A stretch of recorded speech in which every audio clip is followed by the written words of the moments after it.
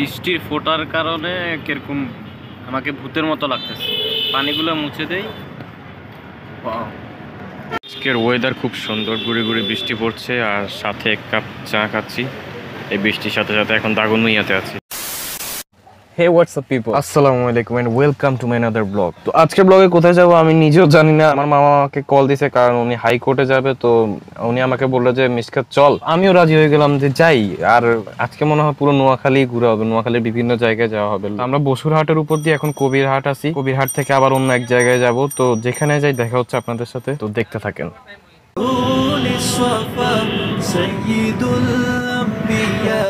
مشعل في الوفاء كان في عطفه لليتامى دفا مصطفى مصطفى তো আমি এখন লক্ষ্মীপুর জেলা আইনজীবী সমিতি ভবনের সামনে আছি এরপর মনে হয় চাঁদপুর যাবো মেবি শিওর না এই বিল্ডিংটা নতুন হয়েছে মনে হয় এটা কি বিল্ডিং মানে ওইটার নাম দেওয়া হয় নাই তবে আমার মনে হচ্ছে এটা আইনজীবী সমিতি ভবনই হবে আর এর পাশে রয়েছে লক্ষ্মীপুর জেলা জজ আদালত তো এখানে মূলত একটা জিনিস খেয়াল করলাম যে দৈনন্দিন জীবনে ব্যবহারে যেই সব জিনিস আছে ওইগুলো সবই পাওয়া যায় আমি ঘুরে ঘুরে দেখলাম যে মানে একদম মরক থেকে শুরু করে যে খাওয়ার যত জিনিস আছে চায়ের দোকান আছে কয়েক রকমের আর কাপড়ের দোকান মানে সব আছে এখানে আর মামা মূলত ভিতরে ভোটের কিছু প্রচারণার কাজ আছে ওইগুলো সম্পন্ন করছে আর মামার কাছে চলেই আমরা বের হব তো দেখা হচ্ছে নেক্সট শর্টে আমি মূলত এরকম একটা জায়গায় বসে আছি দেখেন অনেক গাড়ি এই জায়গায় قلبي له فاز شوقا إليه ليس أرجو سوى আমরা চাঁদপুরে ঢুকার পরপরই জোহরের টাইম হয়। আমরা এক জায়গায় দাঁড়িয়ে জোহরের নামাজটা পড়ে নিই। অ্যান্ড জায়গাটা খুবই রিফ্রেশ ছিল, খুবই সুন্দর ছিল। নামাজ পড়ার পর তারপরে আমরা আসি চাঁদপুর জজ আদালতে। সেখানে আবার মামা মামার কাজ সম্পন্ন করে। অ্যান্ড ওখান থেকে আমরা অনেক কক্ষে যাই, অনেকগুলো নতুন ঘোরাঘুরি করি। তবে লক্ষ্মীপুরের মতো এখানে এরকম সব কিছুর দোকানপাট নেই। জাস্ট এটা একদম ক্লিন এবং উন্নত লক্ষ্মীপুর থেকে। মজার বিষয় হচ্ছে সেই দিন বৃষ্টি বেড়েছে আর কমেছে, বেড়েছে আর কমেছে। এভাবে আমাদেরকে সারাদিন কাটিয়ে দিতে হয়েছে।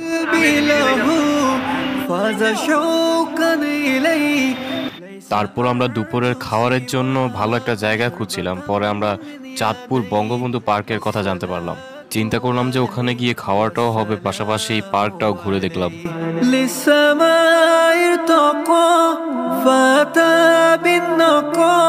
আমরা এখন এসে গেছি।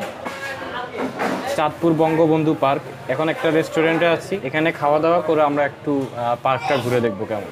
ইলিশ মাছের ভর্তা ইলিশ মাছ ভাজি আলুর ভর্তা ডাল এগুলোই আমাদের খাওয়ার লিস্টে ছিল। তবে চাঁদপুর হিসেবে আমি মনে করেছিলাম ইলিশ মাছগুলো খুবই স্পেশাল হবে। বাট ইলিশ মাছগুলো খুবই নর্মাল ছিল। মানে এতটা খারাপও না আবার ভালোও না। मैं तो चाहूं बस तेरी रजा मेरे দুপুরের খাওয়া শেষ করেই আমরা পার্কের ভিতরে একটি টঙের দোকানে যাই এবং মালাই চায়ের অর্ডার করি তো এইটা হচ্ছে মালাই চা আর এই যে হচ্ছে জাহাজ তো আমাদের ভাত খাওয়া শেষ এই জন্য এখন চা নিয়ে আসছি মালাই চা আর এই যে উপ- এই ভিউটা উপভোগ করতেছি এটা হচ্ছে নৌবাহিনীর গাড়ি দেখতে পাচ্ছেন এখানে অনেকগুলো নৌবাহিনী দাঁড়িয়ে আছে গাড়ি না সরি জাহাজ একটু ভুল হয়েছে কথায় নদীর পাশে দাঁড়িয়ে চা খাওয়া শেষ করি তারপর আমরা সামনের দিকে এগোতেই দেখি রক্তধারা যেটি আমি আগে ইউটিউবে দেখেছি কিন্তু সামনাসামনি প্রথমবার मौत का फरिश्ता जो आए तेरा तब हाल हो ऐसा मेरा जुबां हो मेरी नाम तेरा এইটা হচ্ছে মোহনা তিন দিকের নদী এসে এই জায়গায় পানি একসাথে হয় আর এই জায়গায় জাহাজও ডুবে যায় যতটুকু জানা গেছে। আগে ওই জায়গায় ডুবে যাইতো এই যে হলুদ যে জাহাজটা আছে ওইটা লঞ্চ গার্ড ছিল বাট এখন এই জায়গায় ডুবে না। এখন কয়েকদিন আগে এই জায়গায় ডুবে গেছিল। আর এই জায়গায় নাকি একটা টার্নিং পয়েন্ট আছে মানে মোড় আছে তো এই কারণে ডুবে যায় এই জায়গায়।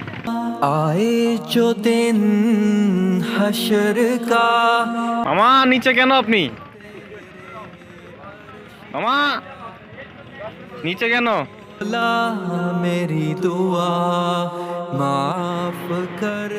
দেন আমরা আসরের নামাজ শেষ করে নিকলি হাওর যাই।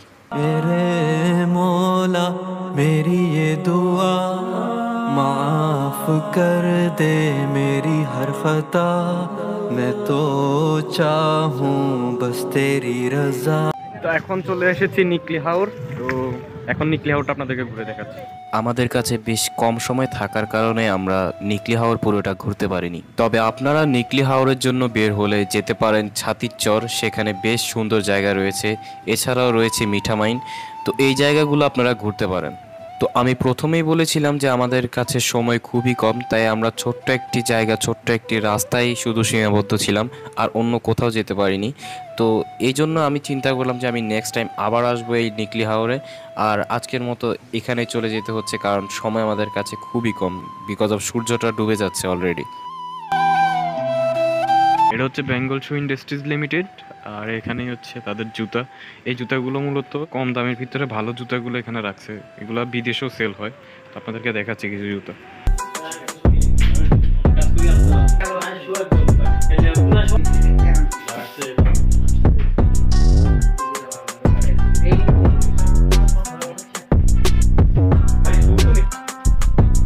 এখানে মূলত জিনিসগুলো ভালো, কিন্তু দাম মোটামুটি মানে অন্য অন্য ব্র্যান্ডের চেয়ে কম।